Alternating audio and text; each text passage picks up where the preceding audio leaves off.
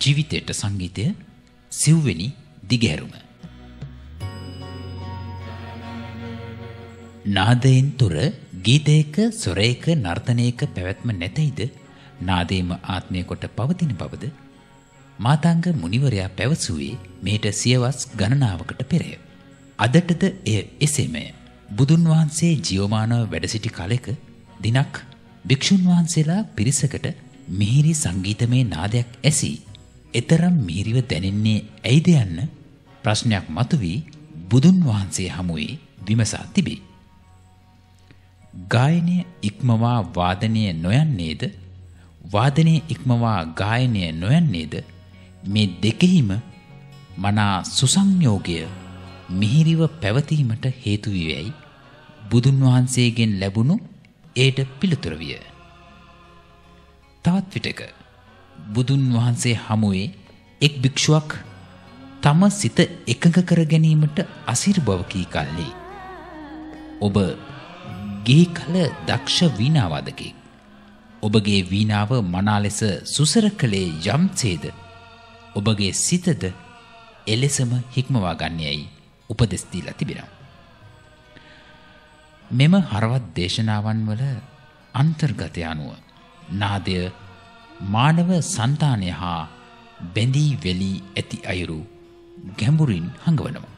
මේ අත්දැකීම් ඊටත් එහා ගිය දෙයක්.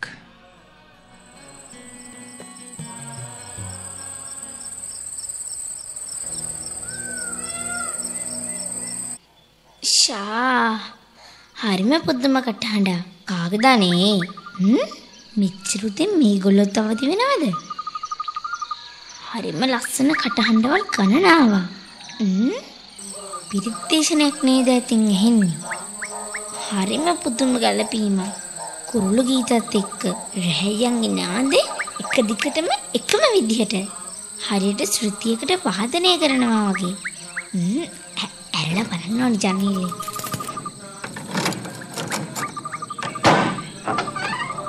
ෂා දැනෙන සනීපේ. පුතා පුතා නැගිටින්නකෝ දැන් හතරත් පහු වෙලා පාඩම් කරන්නත් ඕනේ නේද මම අවදි වෙලා ඉන්නේ අම්මා. මම මේ සිම්පනියකට ඇහුම්කන් දෙනවා. ඔය ඔය ඔය ඇහෙන්නේ? සිම්පනි මොන සිම්පනිද පුතා මේ පාන්දර? ඔන්න එහෙනම් අහගන්නකෝ. සද්ද නැතුව එහෙනම්. හ්ම් ඇත්තනේ ඉන්න. මේ ඇහෙන්නේ ලෝකේ හොඳම සිම්පනියද කියලා මටත් හිතෙනවා දැන්. ස්වභාව ධර්මයයි පිරිත් දේශනාවයි. අම්මේ මේ පිරිත් දේශනා කරන්නේ සංගීත සරවලටද? ඇයි ඇයි පුතා එහෙම හැව්වේ? කනට මිහිරි වැසින්නේ නාද නම් පිරිත් මිහිරි වැසින්නත් හේතුවක් තියෙන්න පෑ අම්මේ ඈ? හ්ම් පුතා හරි. පිරිත් සජ්ජායනාවලදී සංගීත ස්වර තුනක් හරි දෙකක් හරි තියෙන බව තමයි හොයාගෙන තියෙන්නේ. ස්වර ප්‍රස්තාරත් නැහෙනේ. ඇයි අම්මේ? ඉතින් සරවලට සම්බන්ධ නම් ගීතවත් භාවයක් දැනෙන්නේ නැත්te මේ පිරිත් අහනකොට? ඒ ඒ මේකනේ පුතා. ගීතයක් වෙන්න අඩුම තරමේ ස්වර පහක්වත් තියෙන්න ඕනනේ. ආ අනික් කාරණේ තමයි පුතේ. ගාථා පිරිත් දේශනාවල සංගීතමය හැඟීමක් මතු කරන්නේ නෑනේ ඒ වුණාට අහගෙන ඉන්න ඕනම කෙනෙක් කැමති නේද අම්මා? ඒක තමයි පුතේ. අපි තේරුම් ගන්න ඕන දේ කීප දෙනෙක් එකතු වෙලා දේශනාවලට අනුව নমස්කාර පාඨය, දේවාරාධනාව, මහපිරිත් දේශනා කරනකොට පුතේ ඒ හඬවල් වල එකතු වෙලා මැවෙන මිහිරියාව මිනිසුන්ව එල්ලි වෙනකන් එක තැන තියන සමත් වෙනවනේ. විපත්ති පටිබාහාය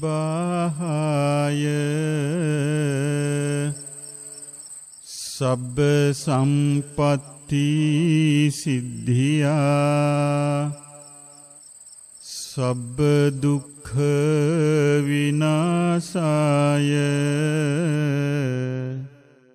පරිත්තං බෘථ මංගලං ඒ හැඟීම් මනසට කොච්චර ප්‍රතිකාරයක්ද? එතකොට අම්මේ අපි අහන සින්දු වලත් ගාත තියෙනවනේ. ඒ කොහොමද එහෙම වෙන්නේ? ඉතිපිස්සෝ භගවාරහන් බුද්ධං සරණං ගච්ඡාමි වගේ. ඒ කොහොමද එහෙම වෙන්නේ?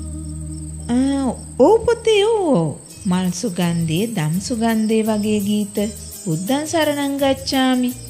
මෙන්න මේ වගේ ගීත ස්වර ප්‍රස්ථාර අනුව එතනදී ඇතිවන හැඟීම වෙනස්. මල් සුගන්ධි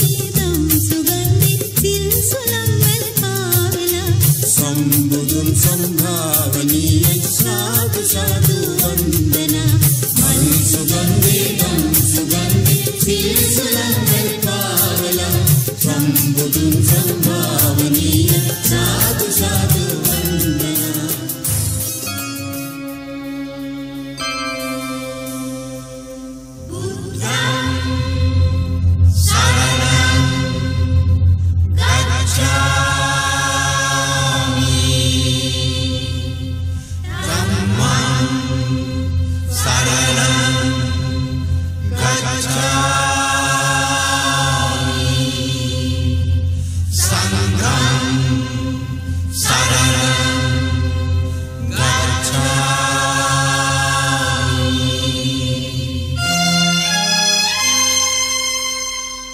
ඔබෙරාගී මන කැලම්බේදෝ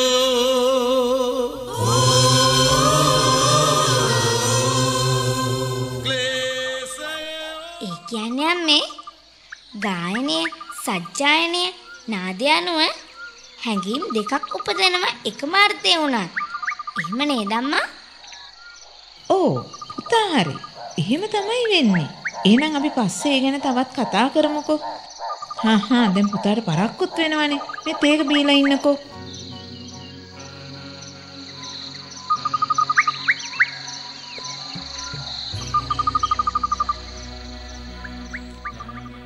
විජය.lk වෙබ් අඩවියේ ජීවිතයට සංගීතය සිව්වෙනි දිගහැරුම ජීවිතයට සංගීතය පිටපත සංගීතාචාර්ය දනූර් එම් බණ්ඩාර නවගත්තේගම. විජය.lk වෙබ් අඩවිය වෙනුවෙන් නිෂ්පාදනය සහ සංස්කරණය විශ්ව ගැමුණු ප්‍රියංකර. අද ආණ්ඩනලු පිරිවර තනුජා නිශාන්ති මිහිරි සංකල්පනී.